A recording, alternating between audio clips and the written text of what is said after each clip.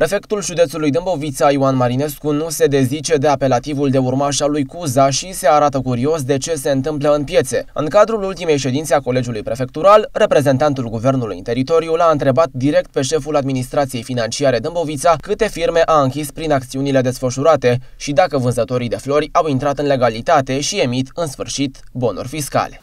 Aș vrea să știu dacă în urma acțiunilor desfășurate de dumneavoastră s-a închis vreo firmă, pentru că scopul nostru este de a le, face, de le menține în limitele legale să funcționeze, dacă s-a dispus închiderea vreunei firme și dacă în piața de flori se dă bonuri fiscale și în piața de legume și fructe.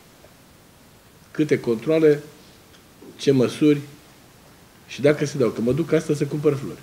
În cel mai rău caz, dacă stabilim diferențe impozite și taxe foarte mari, s-a întâmplat să solicităm după 60 de zile și intrarea în insolvență a agentului respectiv.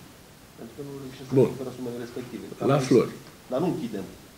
E în regulă. Asta, asta vreau. Adică deci, nu urmărim, în principal, să închidem firme. Nu, sub nicio formă. Trebuie să le ajutăm cât de mult posibil, pentru că și așa suntem în județul ăsta destul de afectat. Chiar dacă răspunsurile n-au venit din partea celor de drept să se ocupe de problemele menționate, prefectul și-a lămurit în parte curiozitățile. Cât despre comercianții de flori, dacă emit sau nu bonuri fiscale, va trebui să investigheze situația la fața locului, amestecându-se prin norod.